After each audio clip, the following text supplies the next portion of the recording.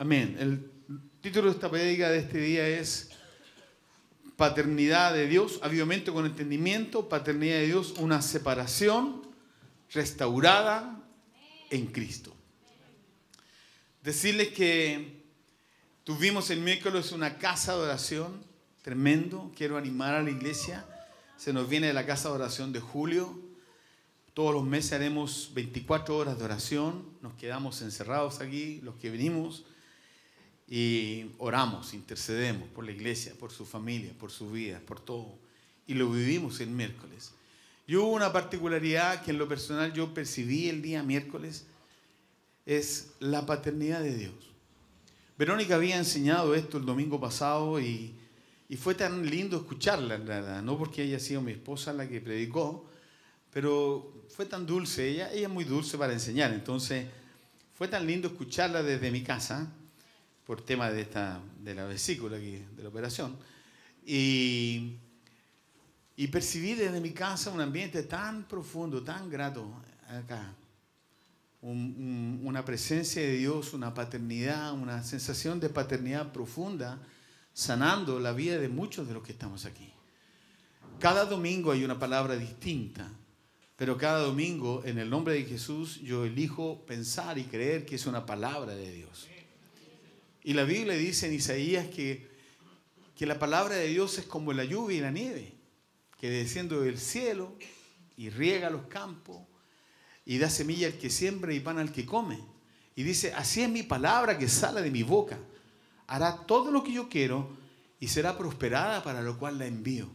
Entonces, cada domingo hay una palabra de Dios. Hay pan en la casa del pan. Amén. Y el domingo pasado fue lindo escuchar a Verónica hablar sobre paternidad. La pregunta es, ¿cómo puedo conocer la paternidad de Dios? Esa es una pregunta que ella no hizo, pero que yo la quiero hacer y tomar un texto que ella mencionó. Podemos decir que puedo conocer la paternidad de Dios cuando yo llego a una relación de amor con Jesús. Cada vez que vemos a Jesús en su conducta con sus discípulos. Cada vez que vemos a Jesús tratando a las personas, sanando enfermos, resucitando muertos. Cada vez que vimos a Jesús multiplicando panes y peces, abrazando a un leproso, caminando con personas, enseñando en las sinagogas. Cada vez que vimos a Jesús en los evangelios, vimos al Padre.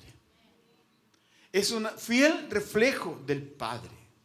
Cada cosa que Jesús hizo lo hizo porque vio primero al Padre. Dijo, hasta ahora mi Padre trabaja y yo trabajo. Yo no hago nada por mi cuenta, dijo Jesús. Yo hago todo lo que el Padre hace primero. Jesús es el fiel reflejo del Padre. Y Verónica citó un texto aquí en Juan 14.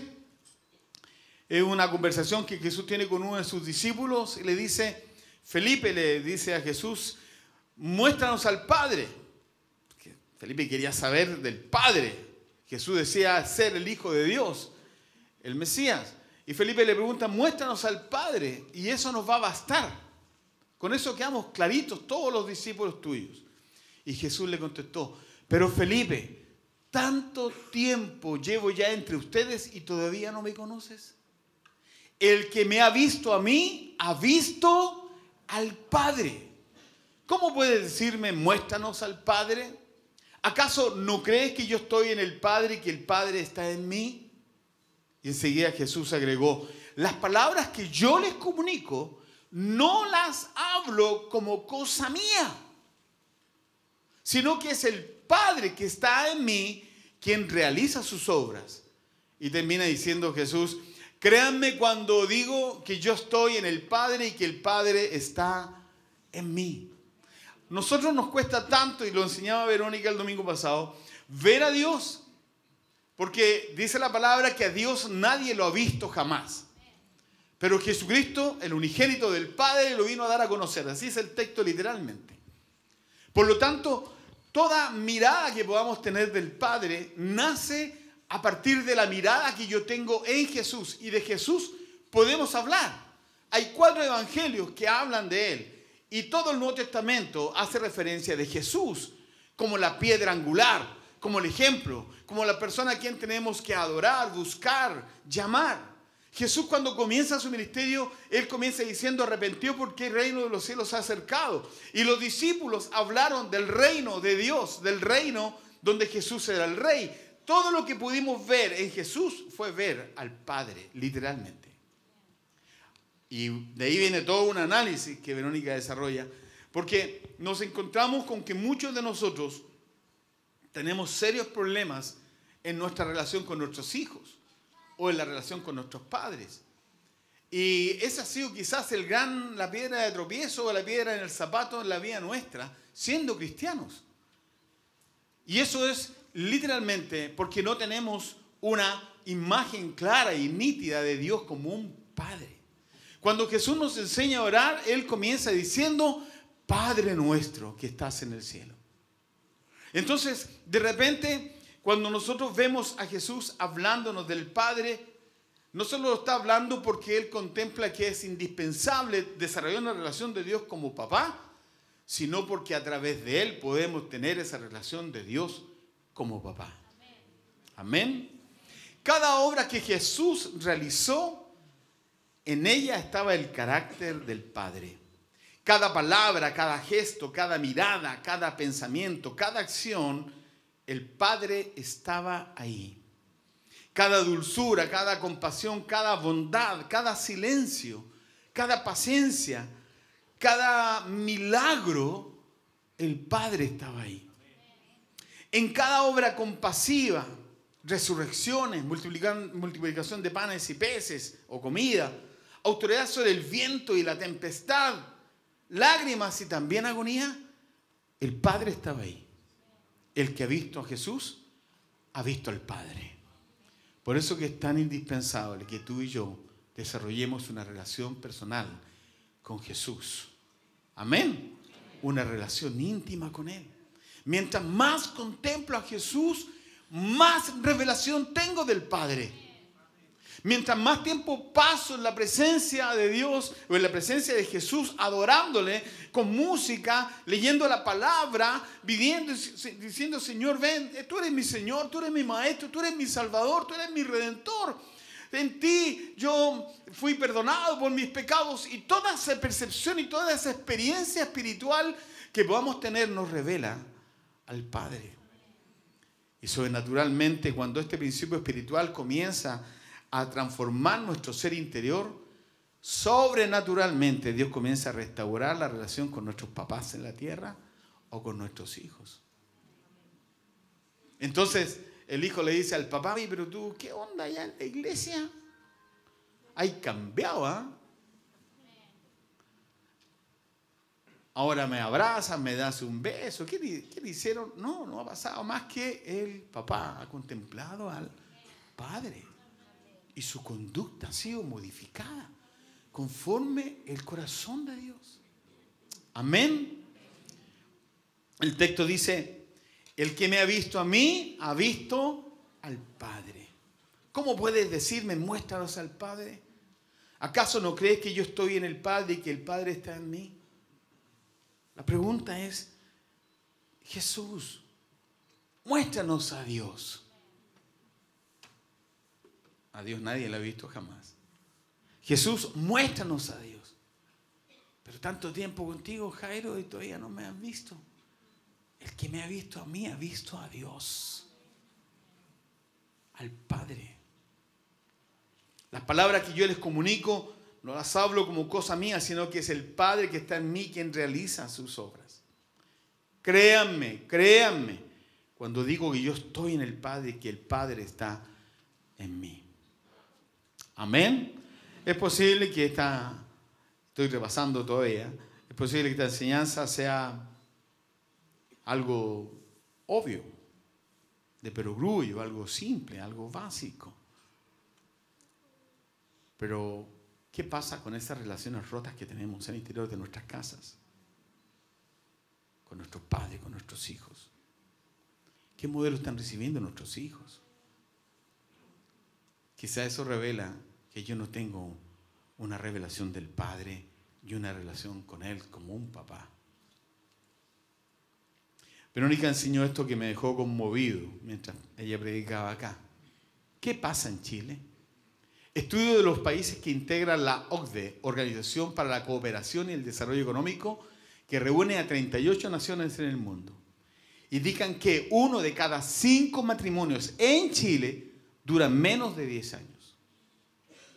Y una cifra aún más alarmante dice que aproximadamente 3 de cada 4 niños que nacen en Chile lo hacen fuera del matrimonio. Chile tiene uno de los porcentajes más altos de hijos nacidos fuera del matrimonio. ¿Sabe lo que significa eso? Una orfandad salvaje. Un daño generacional. Niños que nunca van a alcanzar su potencial. Porque una deformidad ocurrió en ellos. Ya el matrimonio está quebrado, ya la relación está rota, ya no vive ni con su papá biológico ni con su mamá progenitora, vive con uno o con el otro, algo se quebró en la vida de él. Por eso la palabra dice que nosotros somos la sal de la tierra, la luz del mundo. ¿Cómo podemos sanar estas generaciones si nosotros tenemos un serio problema en nuestra revelación de Dios como un Padre? Entonces el encargo de Dios no solamente que nos reunamos esta mañana aquí, y que adoremos como lo hemos hecho. Que nos volvamos a ver como nos vimos el miércoles o el domingo pasado. El encargo de Dios es que nosotros somos la esperanza de gloria para esta sociedad. El encargo de Dios es que tú y yo tenemos que trabajar nuestra relación con Dios como un papá, abrazar nuestra relación con Jesús y recibir de Él el diseño de Dios para nuestra vida y para que yo pueda transferir a otros, a partir de mi experiencia con Dios, el modelo que Dios anhela que yo tenga y que otros tengan. Amén. Entonces, la falta de paternidad en el mundo entero está dejando a generaciones de niños como minusválidos emocionales, incapacitados para alcanzar su máximo potencial para vivir su vida. Verónica dijo lo siguiente. ¿Cuántos de los que estamos en esta sala hoy, esta realidad nos hace, nos hace sentido? O eso lo dije yo, parece. Pero lo que voy a decir ahora, usted lo dijo. Puede ser que al mirar nuestra niñez traiga sobre nosotros emociones que duelen. Esas emociones provocan un sentimiento de dolor, orfandad, inseguridad, falta de afecto y temores, entre otras cosas. Estos sentimientos al pasar por el filtro de la razón se transforman en una conducta hostil, defensiva, ofensiva, temerosa, con un carácter que no es que el Padre, no es el carácter que el Padre diseñó para nosotros. Todo porque tenemos un serio problema en nuestra revelación de Dios como un Padre. Y Verónica tomó este texto y aquí con este último texto quiero desarrollar un poco lo que quisiera enseñar. Verónica citó Romanos 8, 14 y 16 al 16, dice, porque todos los que son guiados, guiados por el Espíritu de Dios son hijos de Dios. Dice, porque todos los que son guiados por el Espíritu de Dios son hijos de Dios. Y si somos hijos de Dios, significa que Dios es nuestro Padre. ¿Amén o no? Porque todos los que son guiados por el Espíritu de Dios son hijos de Dios. Y enseguida agrega, y ustedes no recibieron un espíritu que de nuevo los esclavice al miedo, sino el espíritu que los adopta como hijos y les permite clamar, Abba, Padre, Papito, Padre. Y agrega, el espíritu mismo asegura a nuestro espíritu que somos hijos de Dios. Y entonces, a partir de este texto, Verónica habló de dos conceptos el de ser hijos de Dios o ser esclavos, libres o esclavos. El texto dice, porque todos los que son guiados por el Espíritu de Dios son hijos de Dios.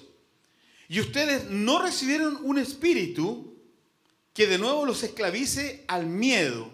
O sea, es decir, está diciendo que hijos de Dios pueden ser esclavos del miedo. Amén. Si no dice, recibieron el Espíritu que los adopta como hijos y les permite clamar a Padre. ¿Qué está queriendo decir? Que en una relación con Dios se puede dar la figura de ser un hijo de Dios, como también se puede dar la figura que somos esclavos, que tenemos miedo. ¿Dónde nace esta diferencia? ¿Cuál es la revelación que tengo yo con Dios como Padre? Dice que nosotros no recibimos un espíritu que nos esclavice al miedo. Es decir, que nosotros no recibimos el Espíritu Santo para tener miedo de Dios. No recibimos una revelación del Espíritu Santo para tener temor al acercarme a Dios o vivir con miedo al castigo de Dios sobre mi vida. Con miedo o pavor a lo que Dios pueda hacer.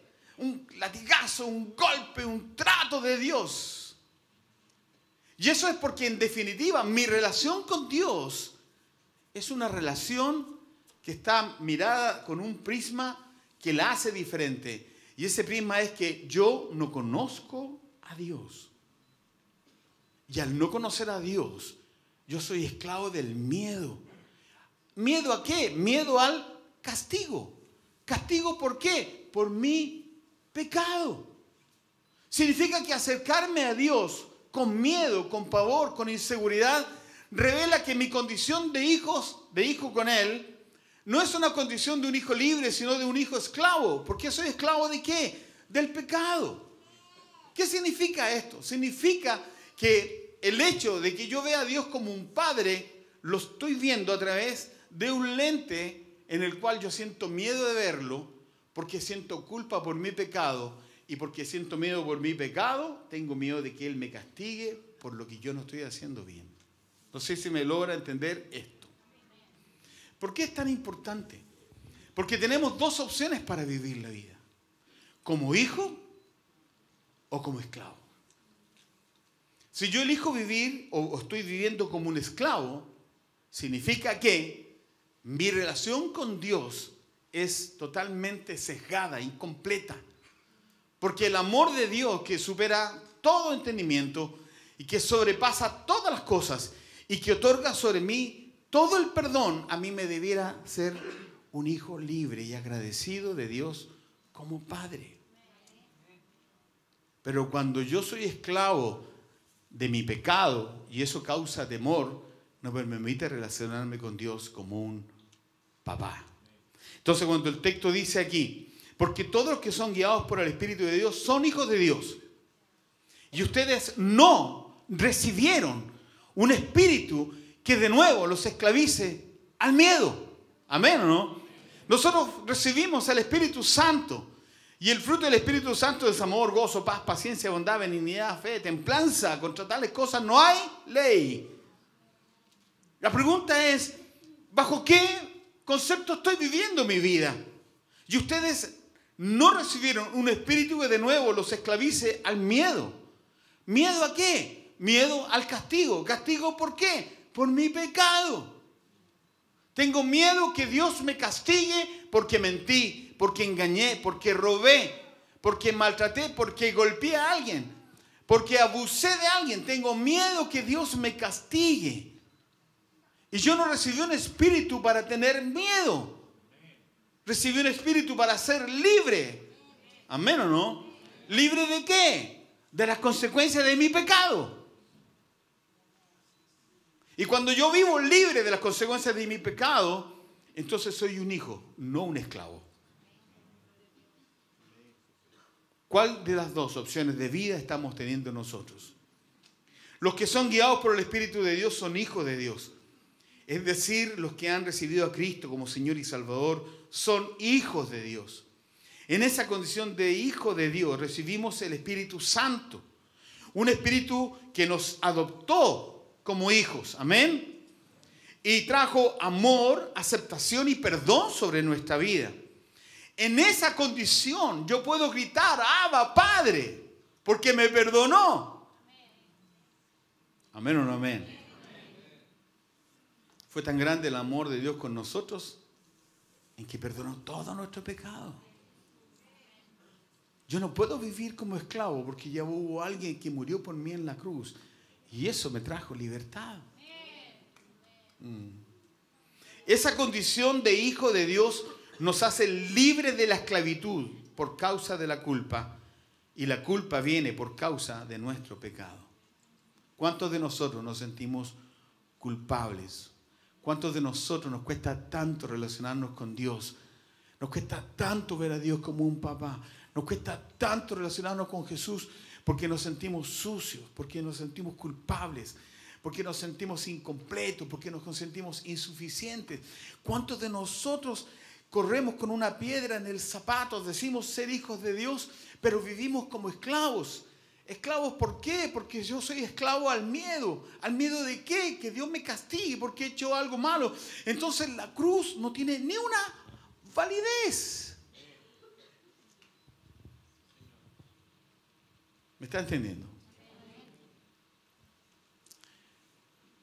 Cuando nosotros somos hijos libres, comenzamos a vivir en paz con Dios.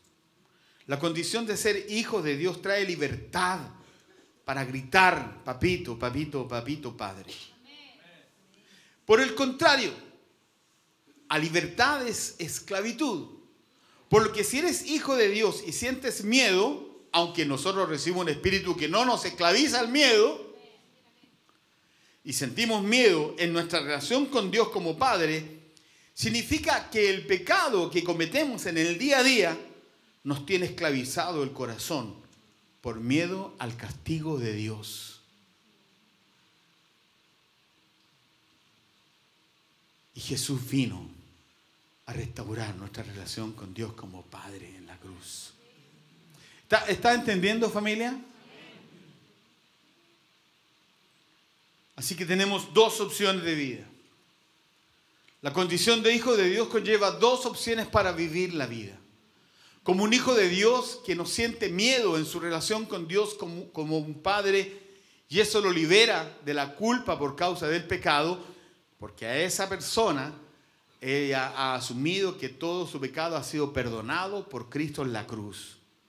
O como un hijo de Dios que siente miedo al castigo por causa del pecado que lo esclaviza y no logra conectarse con Dios como un Padre. Felipe le preguntó, muéstranos al Padre. Tanto tiempo contigo, Felipe, y aún no has visto al Padre. El que me ha visto a mí, ha visto al Padre. Por eso que nuestra relación personal con Jesús, en nuestra vida de intimidad, en nuestro tiempo a solas con él, con él, es un puente que me permite ver al Padre y no sentir miedo. De que todos pecamos, pecamos, sí, claro. Todos pecamos, de una u otra manera hacemos cosas que no debemos hacer. Y pecado se define como saber hacer lo bueno y no hacerlo. Eso es todo. Así que cuando tenemos la opción de hacer algo bueno y no lo hacemos, estamos pecando contra Dios. ¿Vamos a vivir esclavos de ese pecado? Cuando hubo alguien que murió por mi pecado en la cruz. ¿Vamos a vivir esclavos del pecado cuando nosotros no recibimos un espíritu que nos esclaviza al miedo? ¿Está escuchando, no? ¿Vamos a vivir de esa manera o viviremos como libres? El Espíritu Santo trajo libertad a nuestra vida. Nos liberó de las consecuencias del pecado. Dios nos dio vida en unión con Cristo al perdonarnos todos nuestros pecados. Amén o no? Dele un aplauso al Señor con ganas esta mañana.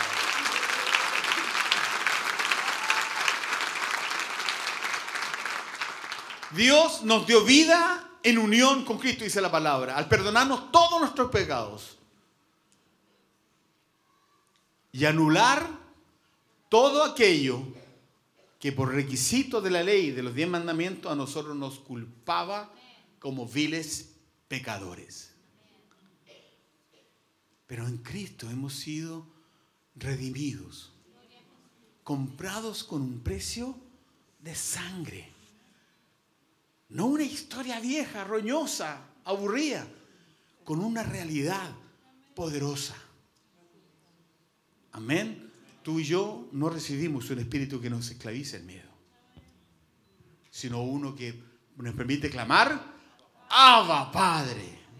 Amén.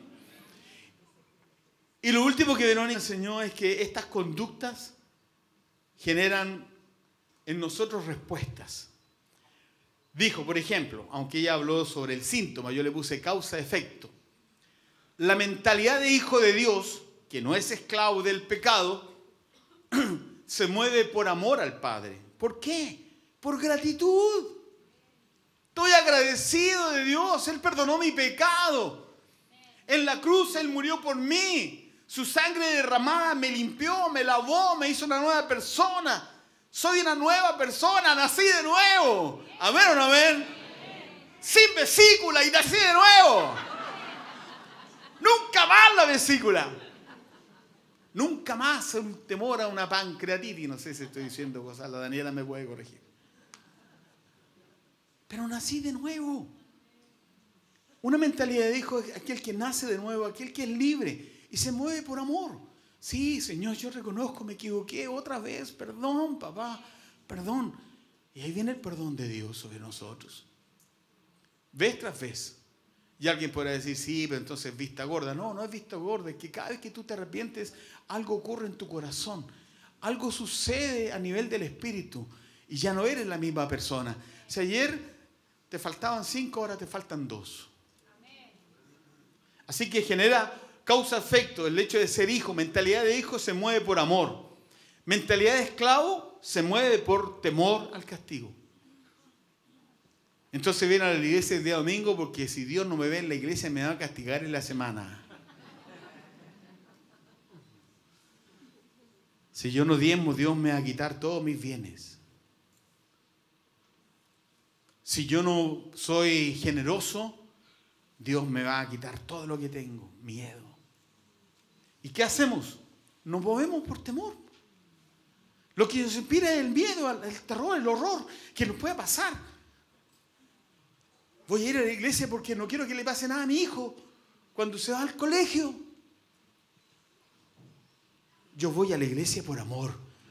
Voy por gratitud. Doy con alegría, no doy por obligación, no, no doy por miedo doy porque Dios me ama, porque Él me permite tener salud, porque me dio hijo, porque me dio una casa, porque a pesar de cualquier circunstancia yo estoy bien, porque Él me ha bendecido, yo soy agradecido. Yo lo único que quiero decirle gracias por todo lo que has hecho en mi vida.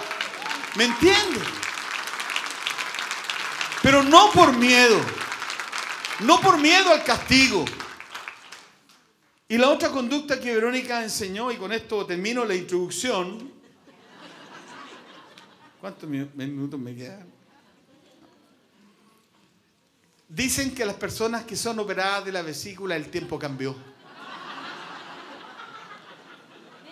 Las personas con vesícula piensan en 45 minutos. Los que somos sin vesícula pensamos en una hora y media. Mentalidad de hijo se basa en el ser. Es decir, disfruta todo porque sabe que Dios lo ama.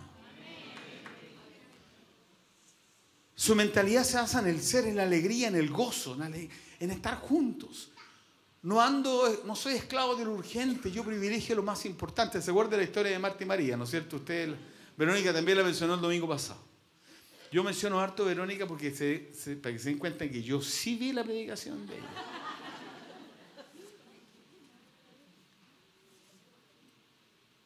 Y la mentalidad de esclavo se basa en el hacer. Tiene que hacer méritos para ver el beneficio de Dios sobre él.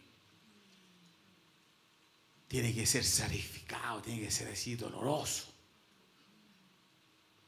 Así que un estilo de vida basado en el ser revela una paternidad de Dios sana. Nos movemos por amor y privilegiamos el ser en nuestra relación con Dios como un padre.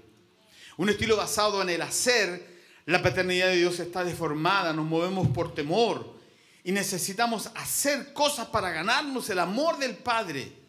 Meritocracia, competencia, logros en nuestra humanidad, demostración que podemos. Somos esclavos del urgente. Por eso que la palabra de hoy día se titula Paternidad de Dios, una separación restaurada en Cristo.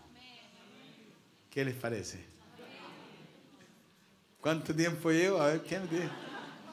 ¿Cuánto tiempo llevo, Carlito? No, no, que alguien me... No, sincero, que me porque yo Como ya no tengo versículo, voy a hacer un asado en mi casa, no quiero llegar tarde porque yo lo voy a hacer.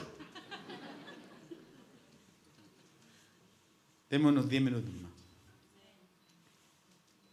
Una paternidad de Dios en la vida de las personas es clave para tener una vida abundante y emocionalmente sana. Tú tienes que trabajar tu relación con Dios. Y alguien me pregunta, pastor, dame tres tips. Número uno, busca un lugar en tu casa. Número dos, comienza, pone una música de adoración. Y número tres, lee de cualquiera de los evangelios. Todo lo que veas ahí es ver al Padre. Todo lo que veas a Jesús hacer es lo que el Padre hizo en ese momento. De la manera en que Él trató a esa pobre viuda, que también Verónica la mencionó en la predica, la viuda de Naín, cuando ve que va a enterrar a su único hijo y se lo resucita, ahí estaba el amor del Padre sobre esa mujer. Tres tips. Busca un lugar en tu casa, pon una música para adorar y lee cualquiera de los evangelios. Si trabajamos nuestra relación personal con Jesús y nos invertimos en ella, espiritualmente comienza a haber un cambio en nuestra vida, en nuestra mente. Comenzamos a ver al Padre. Y esos cambios quizás para nosotros no son perceptibles, pero para quienes nos rodean dicen, qué bueno que le sacaron la vesícula.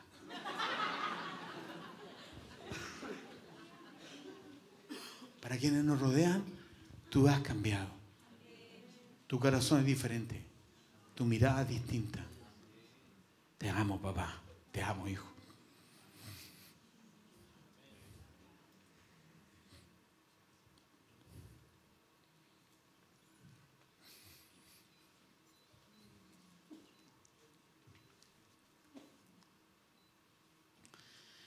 De la misma manera, la falta de paternidad en la vida de las personas es la razón fundamental de todos los problemas que hoy tenemos en nuestra sociedad.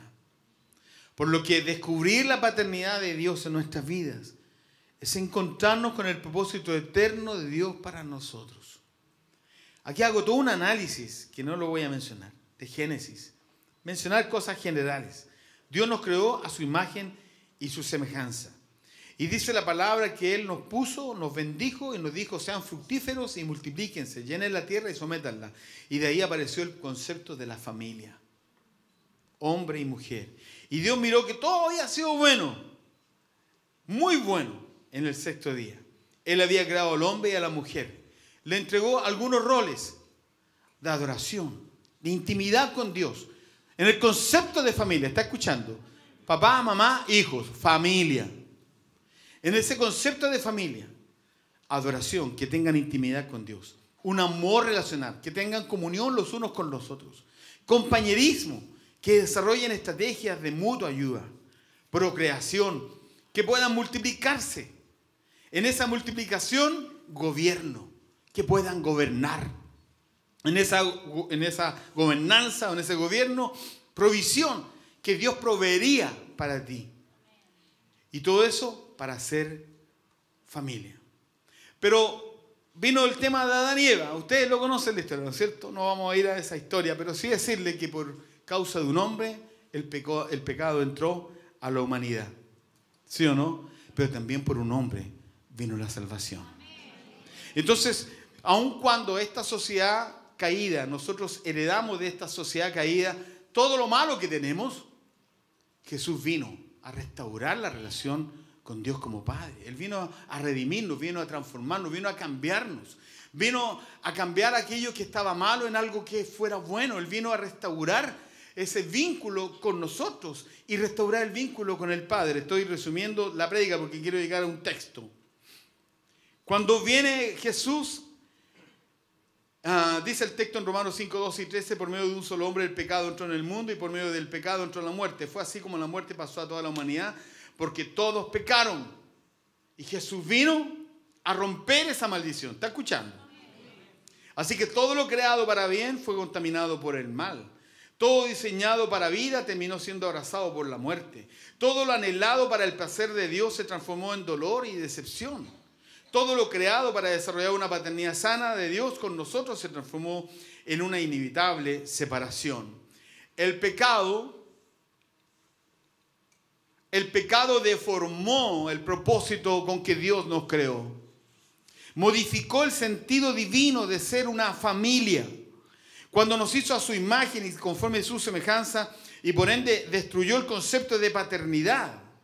Es decir, destituyó, destruyó la expresión de amor más genuino y más profunda de Dios para con nosotros. El pecado, aquello que nos esclaviza al miedo, nos separó del amor de Dios. El pecado destruyó el concepto de paternidad. Aquello hermoso conforme a su imagen y semejanza, perdido en el, en el Edén, lo transformó en algo inalcanzable. El pecado había destruido la mayor y más profunda relación de amor con Dios, que era su paternidad. Y, tenía este texto para mencionar lo que se los voy a leer tan solo.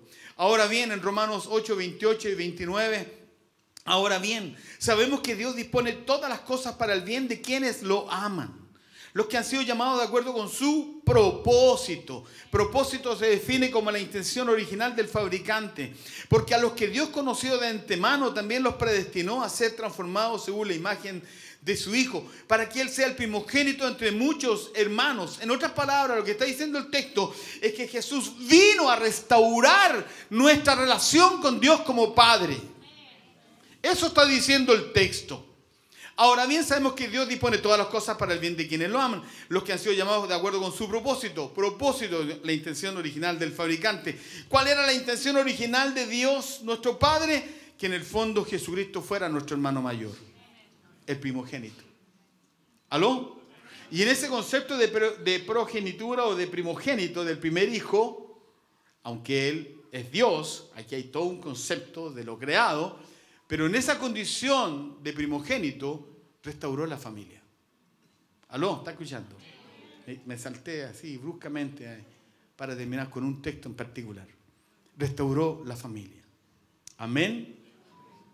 Pero hay un texto que está en Malaquías. Y con esto quiero terminar. Porque creo que todo lo que mi esposita enseñó el domingo pasado y lo que yo quise reforzarlo con algunos conceptos, tiene que ver con esto, con Malaquías. Malaquías 4, 5 y 6 dice, estoy por enviarles al profeta Elías, antes que llegue el día del Señor, día grande y terrible. Él hará que los padres se reconcilien con sus hijos y los hijos con sus padres. Y así no vendré a herir la tierra con destrucción. Jesús viene a restaurar la relación con Dios como Padre y nuestra relación con nuestros padres y con nuestros hijos. Él hará que los hijos, o que, los padres se reconcilien con sus hijos y los hijos con sus padres, familia. La paternidad de Dios busca sanar la familia. Jesús viene a restaurar la relación de los padres con los hijos y los hijos con los padres. Y así dice, de esa manera vendrá a herir la tierra con destrucción total. Es decir, sanando, perdón, la, esta maldición que existe en este quiebre relacional entre padres e hijos lo único que han traído sobre la tierra ha sido maldición. Repito, estoy por enviarles al profeta Elías antes que llegue el día del Señor, día grande y terrible. Él hará que los padres se reconcilien con sus hijos y los hijos con sus padres. Y así no vendré a herir la tierra con destrucción total. Una manera de parar la maldición sobre nuestras familias es restaurar nuestra relación con Dios en Cristo. Es vivir mi relación con Cristo de una manera profunda, genuina, auténtica, transformadora. De esa manera yo detengo la maldición sobre mi casa. Repito el texto. Estoy por enviarles al profeta Elías antes que llegue el día del Señor, día grande y terrible. Él hará que los padres se reconcilien con sus hijos y los hijos con sus padres. Amén. Y así no vendré a herir la tierra con destrucción total. Queridos, cuando nosotros vemos que nuestras familias están quebradas, que nuestras familias, que los vínculos están rotos, que ni siquiera nos hablamos, que estamos lejos los unos de los otros, que hubo algo al interior de la casa que quebró la relación al interior de la familia, eso necesariamente revela que mi relación con Dios como Padre no existe. Eso revela que mi relación con Jesús en la intimidad está fuera de mi vida.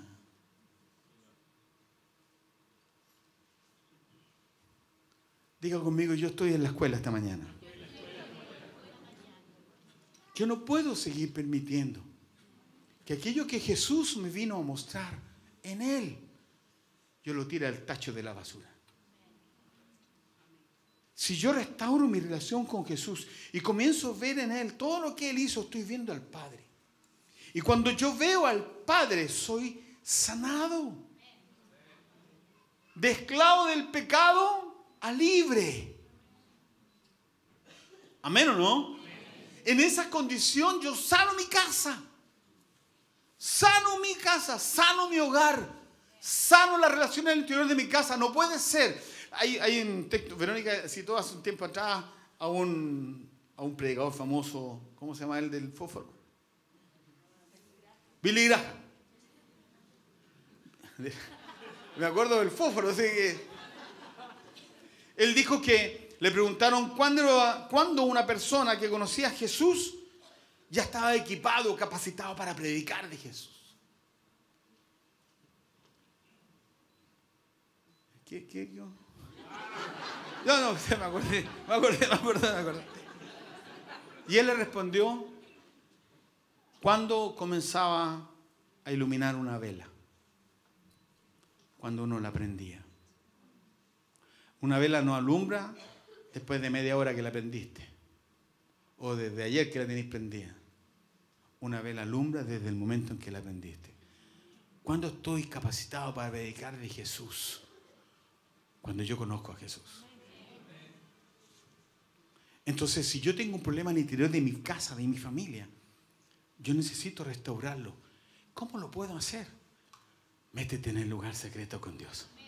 Métete en el lugar. Deja que Dios venga. Deja que el Espíritu Santo te, te llene en esos momentos. Deja que Él transforme tu corazón. Y yo te aseguro, en el nombre de Jesús, que lo que nunca hiciste durante toda tu vida lo comenzarás a hacer, no por causa tuya, sino porque Dios te sacó de la esclavitud de tu pecado a la libertad gloriosa en Cristo Jesús, Señor nuestro.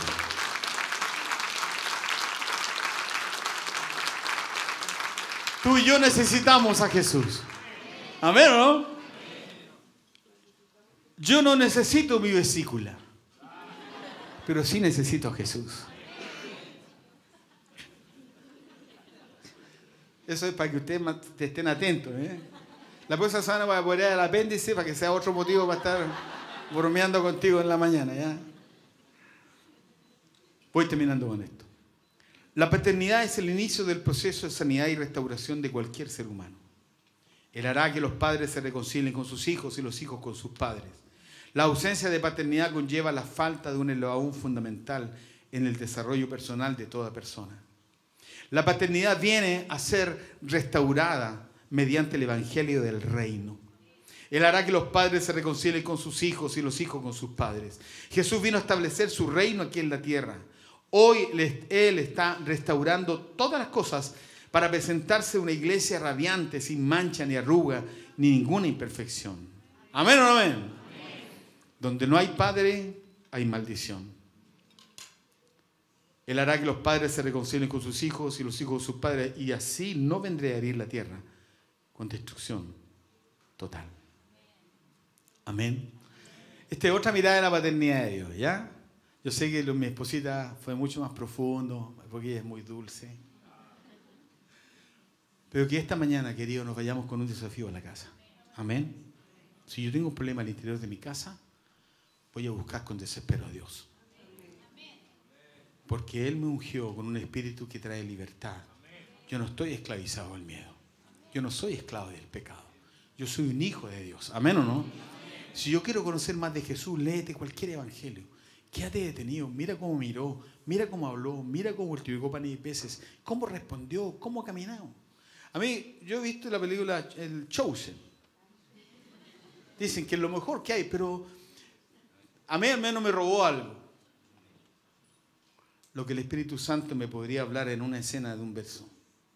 Porque como le ponen todo el contexto histórico y me parece tremendo, pero te deja poco para la imaginación. No sé si a ustedes les pasa eso, pero a mí me pasó eso. Lo mejor, anda a la fuente. Anda a la fuente, como enseñó, no sé quién fue que habló del cántaro. Dani, tú enseñaste. Dani Quintero. Ah, de fue hace unos miércoles atrás. Vamos, dejemos nuestro cántaro, nuestros temores, nuestras inseguridades, nuestras incapacidades. Volquémonos a Jesús. Sumergámonos en su presencia. Dejémonos que nos revele al Padre. Y si nos revela al Padre, traerá sanidad a nuestra casa. Amén. Amén. Pónganse de pie.